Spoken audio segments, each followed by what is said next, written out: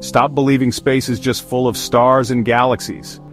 Meet the Boots Void, where there's almost nothing.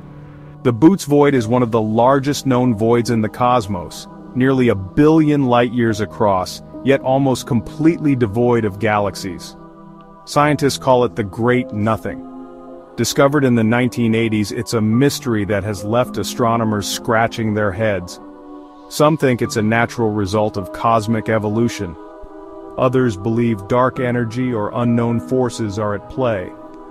And then there are the fringe theories. What if an advanced civilization cleared out this space? Could it be a sign of something unnatural? The Boots Void remains one of the universe's greatest mysteries. A natural phenomenon or a cosmic clue. What do you think?